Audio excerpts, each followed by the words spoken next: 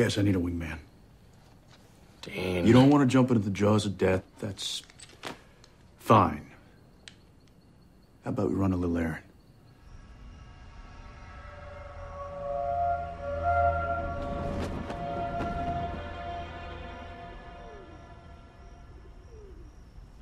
Thanks for the lift. My pleasure. Dean, Yes, we've been over it. I get it. You can't help. If we attack Dick and fail, and you and Sam die heroically, correct? I don't know, I guess. And at best, I die trying to fix my own stupid mistake, or I don't die, I'm brought back again. You see now, it's a punishment resurrection. It's worse every time.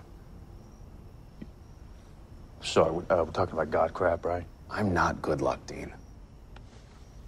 Yeah, well, you know what? Bottom of the ninth, and you're the only guy left on the bench. Sorry, but I'd rather have you. Cursed or not. And anyway, nut up. All right? We're all cursed. I seem like good luck to you?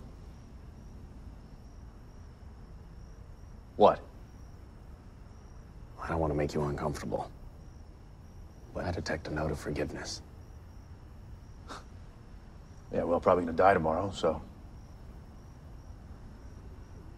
Well, I'll go with you. And I'll do my best.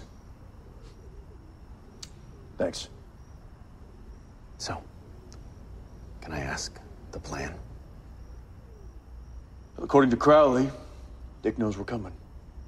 So we're gonna announce ourselves. Big.